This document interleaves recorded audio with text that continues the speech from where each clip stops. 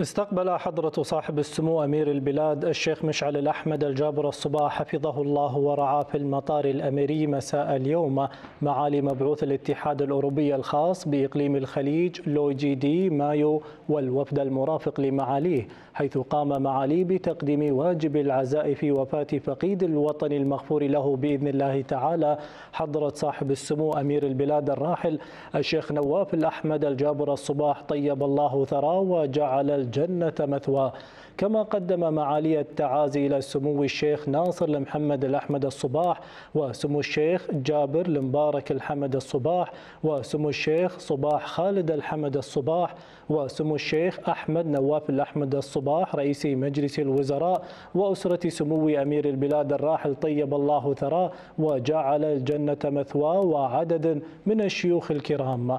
وقد كان في استقبال معالي على أرض المطار وزير الخارجية الشيخ سالم عبد الله الجابر الصباح.